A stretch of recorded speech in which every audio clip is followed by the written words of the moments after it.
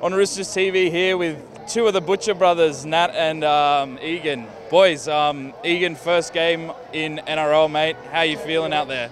Yeah, it was pretty tough. I was blowing out there actually, but no, it was good to get the first one out of the way. So yeah, excited. And Nat, you must have dreamt for this for quite a while. I mean, both of you have been in the system for a number of years. What's it like lining up alongside your brother? Yeah, it's awesome. Uh, Egan and I haven't played together since uh, primary school. So, um, you know, when he came up into the first grade squad uh, a couple of years ago, it was just something that I've always wanted to happen. And, and it finally happened tonight, and we were on at the same time. So, I was, yeah, pretty pumped. And there was a bit of uh, rowdiness at this side of the crowd. A couple of old mates from Southeastern. How was the reception? Yeah, now the boys were going pretty, pretty mental. They were in sharp, really, to be honest, on the bench. But now it was good. Family and them out there sporting. So I think they've wanted it more than me, to be honest. But nah, glad that's there. So yeah.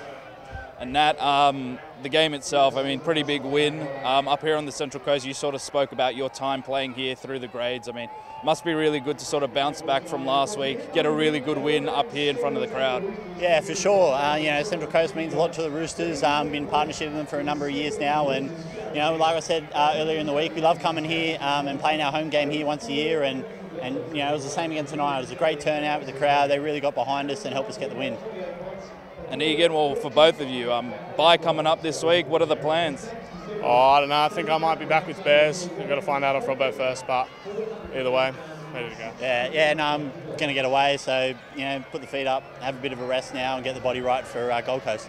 Awesome. Congrats, boys. Enjoy the win. Enjoy the week off. Awesome. Thanks, Cheers. Cheers.